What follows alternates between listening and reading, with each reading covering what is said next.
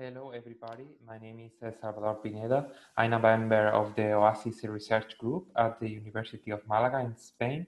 And today I'm going to present you a joint work with my colleagues uh, Juan Miguel Morales and Asuncion Jimenez Cordero about data-driven screening uh, of network constraints for unit commitment. Uh, so the, just a little bit of motivation, we are going to address a certain decision problem, focusing on the spatial dimension and uh, we are going to use uh, classification techniques.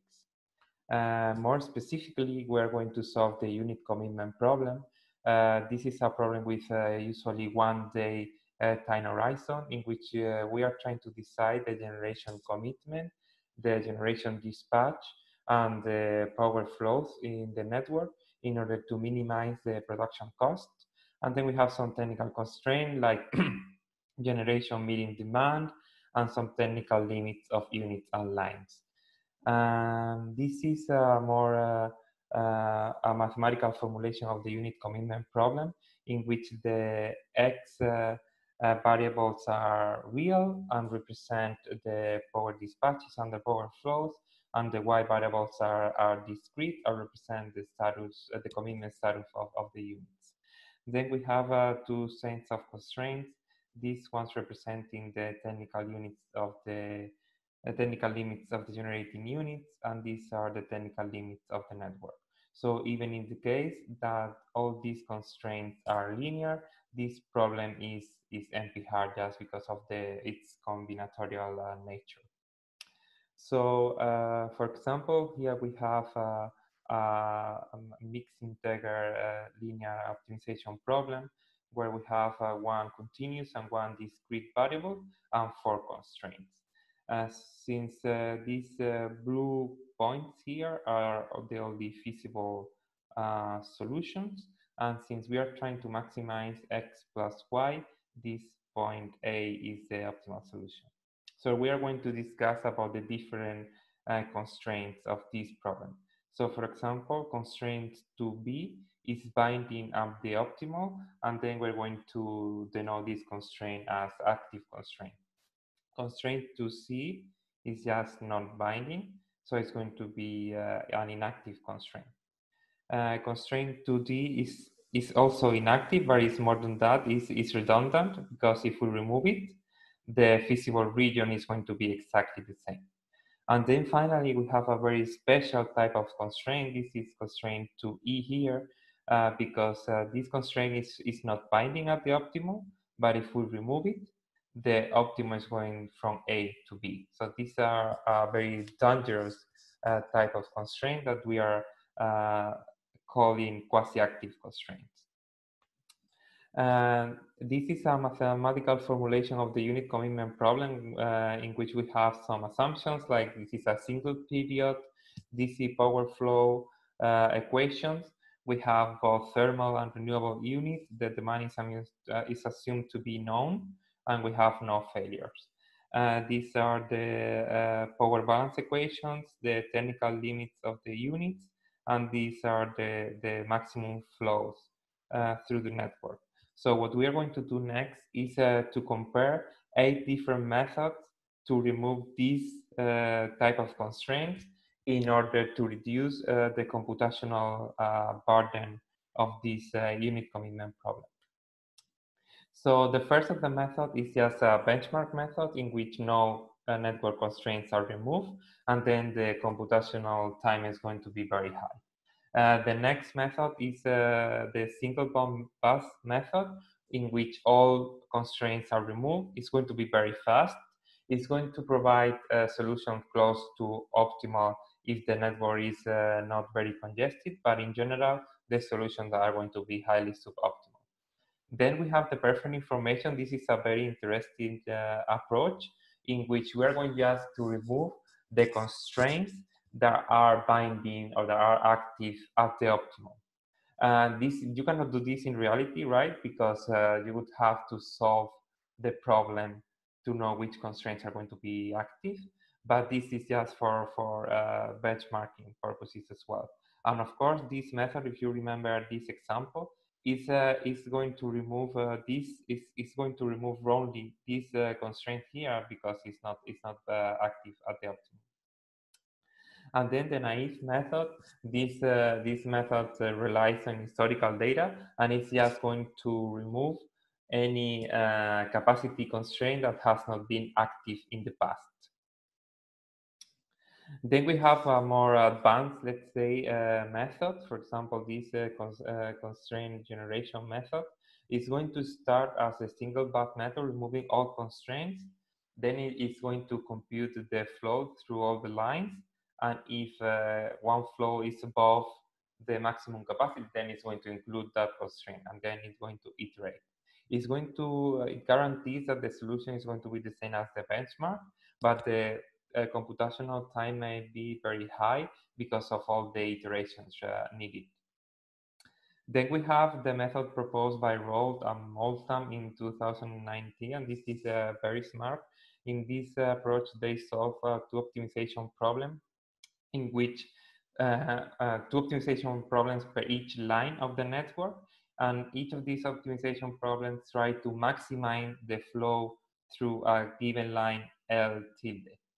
So uh, you can decide the, the, the demand uh, you want for each node among uh, given limits, and then you can dispatch the generators as, as you want, also complying with the limit, to uh, try to congest a given line. Even even uh, under the assumption that you can decide wherever demand and generation you want, you cannot uh, congest a given line, then you can safely remove that constraint and then reduce the computational burden of the unit commitment problem.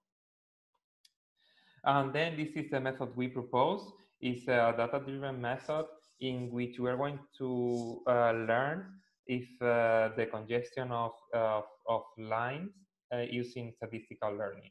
So one advantage is that we don't need any, uh, any additional optimization problem that is not only uh, going to re, uh, remove redundant constraints as the previous, uh, previous uh, method, but also inactive constraints. And the method we are going to use is the, is the k nearest neighbors because it's, it's simple and very interpretable. For example, we assume we have a set of data of, of the demand in the past and then the congestion status of a given line. Then if a new time period uh, t hat uh, comes, then we find the closest uh, neighbors uh, as the distance between these demands. Then uh, if, uh, let's say we pick, I don't know, like five neighbors.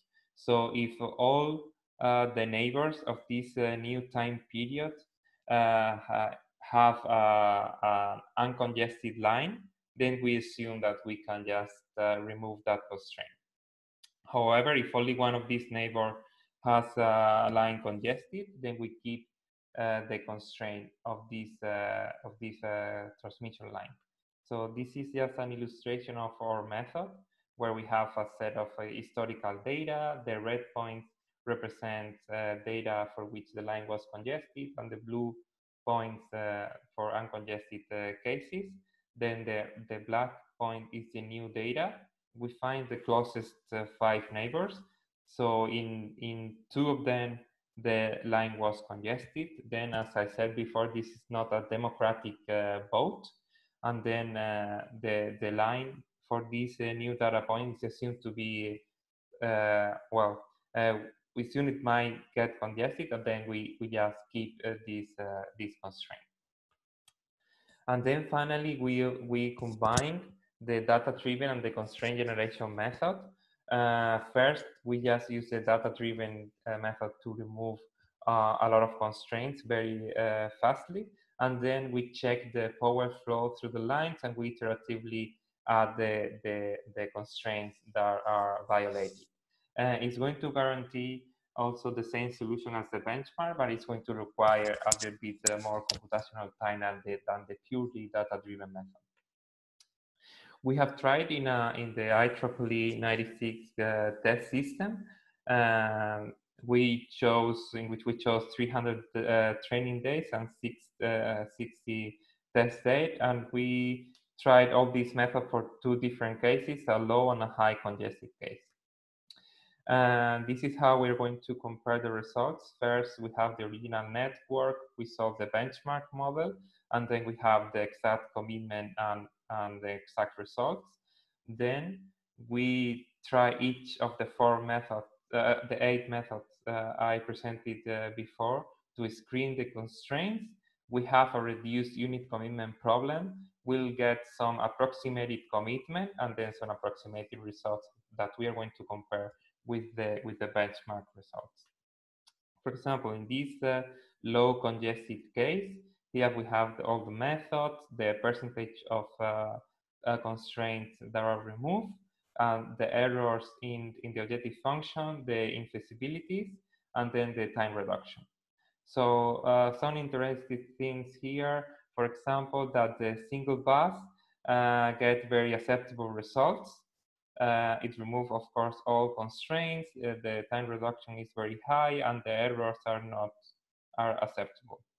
Um, however, we have five uh, methods that provide the exact results as the benchmark model, meaning that if you if your network is uh, is not very congested, uh, uh, doing network screening is not a very difficult task.